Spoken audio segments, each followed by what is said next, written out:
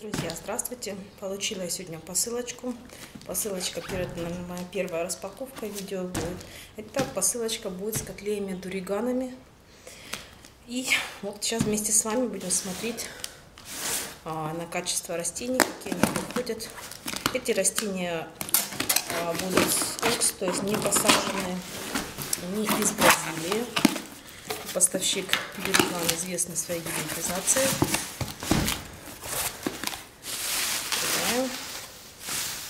Газеточка бразильская. И вот так они у меня, красавцы, сложены. Так, вот это моя красавица. Ух, красотка. Вот. Видно, что еще есть живые корни. Вот новый ростик. Ну, красавица. Это я себе взяла. Видно, что растение вот оно цвевшее уже. Сейчас мы развернем его. Бирочка приклеена. Сейчас мы прочитаем, кто это. Это у нас а, Дуриган Трилабелла. Очень красивая. Джеманина. А, вот, если полное название фокусируется, да. Вот она, красавица. Дальше у нас будут другие. Ну, три особо упаковки не требовали. Это Дориган Геркулес. Очень красивое растение, просто потрясающее. Супер. Дальше. Дальше у нас будет тоже Дориган Питерси. Нет. Персей, а на Джемани. Извиняюсь за свой английский шикарная. Корни живые. Вот и ростик живой. Дальше. И дальше еще красавица. Тоже зелененький, все с живыми корнями. Прям очень довольная я. Это Скорпиус Напноикс. Дальше. Вот еще тут красавчики.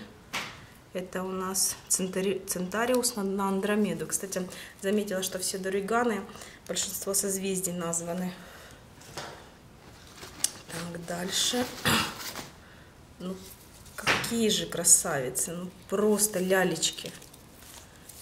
Это дуриган Геркулес на дуриган Моноцерум. Я таких заказала несколько, потому что очень красивый гибрид должен получиться. Смотрите, все живые корни росты активные. Так, здесь тоже у нас это будет Скорпиус Напноекс, тоже такой вот. Дальше красавчики. Красавчики Дуриган 533 на Дуриган 877. Это, а, название не имеет, но, по-моему, некрасивых дуриганов просто не бывает. Так, дальше. Дальше здесь такое небольшое растение, немножко покоцанное, но меня это никогда не смущает.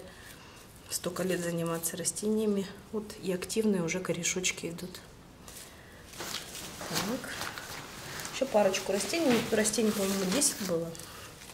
Еще одна красавица. Какие же растения? А, Геркулес на тоже моноцеру. Тоже вот такая красавица. Зелененькие-зелененькие, с ростиками, все с корешочками. Как я люблю такие растения. И тут вот такой тоже не Б, Центариус, Центариус Андромеда. Ну, по-моему, у меня тоже уже такое есть. Ничего, будет еще второе растение. И тоже, посмотрите, все вот эти корешочки, все живые, все замечательные. Сейчас я подготовлю B101. Это антистресс препарат.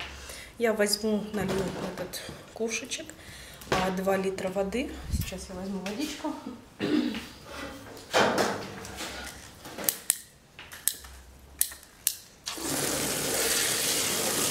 Ну, ну, вот как вот если вымачивают во всяких препаратах, во всяких, я вижу, что растения чистые, растения не больные. Мы с вами распаковывали. Красивые, замечательные, поэтому не, не собираюсь я ни фундазоли вымачивать, ни там вамайте или еще чем-то. Растения чистые, поэтому нужен только антистресс, чтобы как бы перенесенная дорога. Ну, здесь где-то вот уже примерно, ну, я его на глаз наливаю, уже 2 литра. И на 2 литра 2 капли. Раз, два. Перемешаем. И все, примерно их все поставлю. Здесь у меня 10 растений. Их искупаю в антистрессе, просушу и сразу их посажу. А садить я буду в крупную архиату, вот эту 18-25. А почему? Потому что все двулистные котлы, они не любят переувлажнение субстрата, у них сразу идет гниль.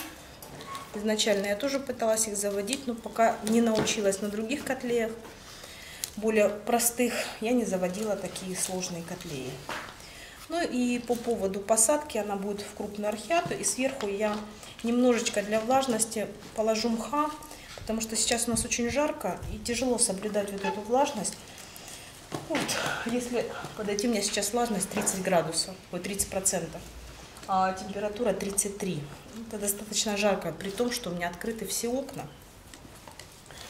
И вот эту влажность очень сложно поддерживать. Вот последнее растение.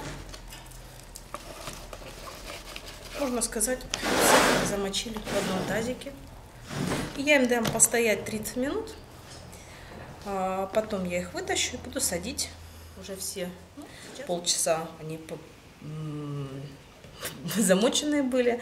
Полчаса где-то они чуть-чуть просохли, ну минут 15. Немножко влажноватые. По поводу обрезки. Вот я, наверное, часть немножечко, не сильно. Не то, что я буду отбирать каждый корешок. Вот я возьму, например, котлею, да. Я вижу тут вот, ну совсем просто вот, которые для посадки мне немножко будут мешать. Я обрезаю их. Вот вижу, что конкретно отмершие корни, чтобы они, ну, не загнивали внутри.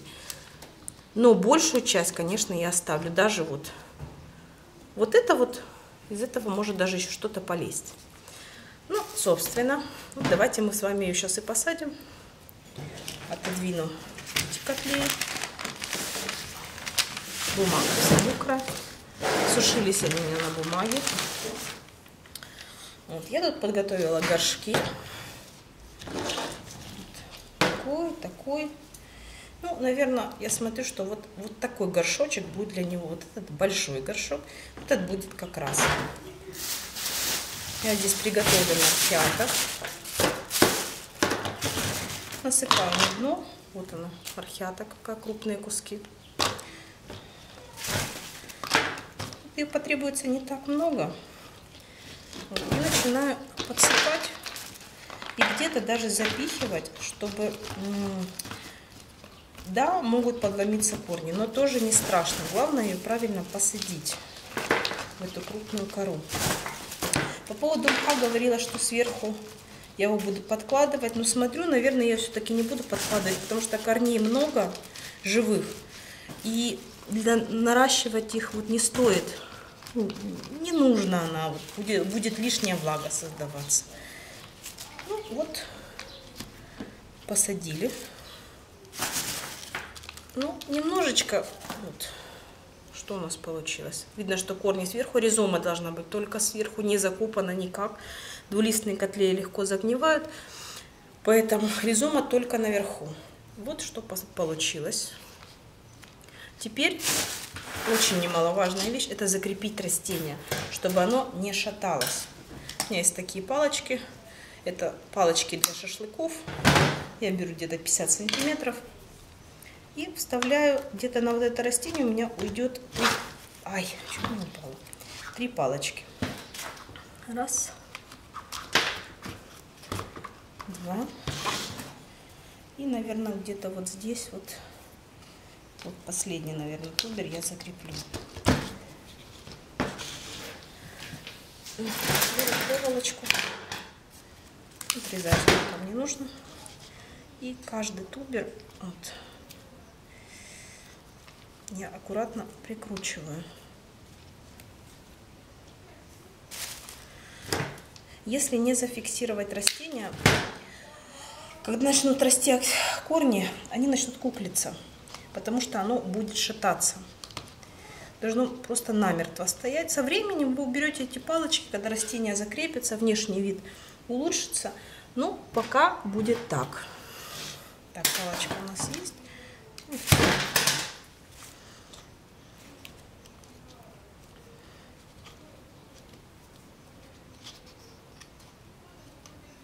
Все. И вот смотрите, вот я шатаю растение, оно стоит жестко, оно не шатается. Если даже шатается, я добавлю еще одну палочку. Ну, что-то нет, что-то мне не сильно нравится. Добавлю еще одну.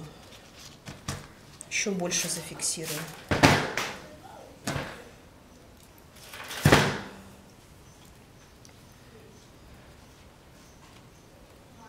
Вот так.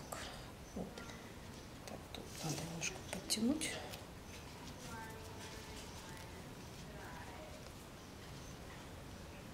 Оп. Все. Теперь вот эта красавица зафиксирована. По поводу полива. Она была замучена, поэтому садила я в сухую кору. А полью я ее через дня, наверное, 4-5 пока полностью внутри все не просохнет, и буду поливать не вовнутрь, а по краю горшка, на пролив, никаких замачиваний. И вот раз в 5 дней где-то я ее так и буду поливать, двулистники не, не нуждаются в таком частом поливе. И я смотрю, здесь даже проклевываются новые корешочки. И где-то через месяц у него будут активные большие корни. И скажу так, это еще растение замечательная с открытой корневой, потому что бывает вообще приходят растения, у которых корней вообще практически нету.